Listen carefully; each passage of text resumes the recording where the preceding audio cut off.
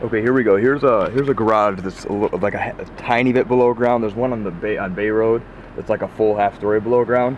Here's the water just creeping out farther and farther. Here's a more inland spot. See, there's the seawall we were looking at out there. Here's a drain which is flowing down the street. It's gotten a bit higher just since I drove down there and took a three second video.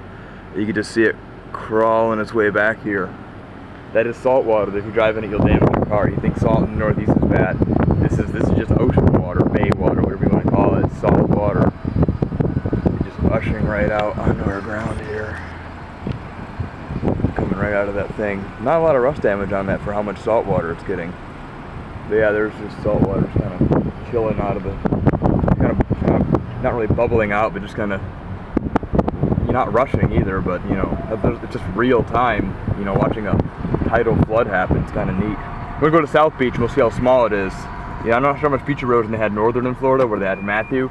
I don't even sure if I think I'm gonna stop at you know Juno Pier and see how much beach erosion they had, but it was getting closer. And then I'm gonna go up to the real hurricane zone, you know, and be back in time for next week's real king tides and uh, check out what beach erosion they had. I don't know if South Beach had that, but the beach looked pretty small some of these high tides. And I was in the North Beach area, that beach looks really small compared to what I think it used to look like. I could be wrong about that though. North Beach, of course, has always been much smaller. But I'm not talking about that. Look at that. That garage is just staying dry in there.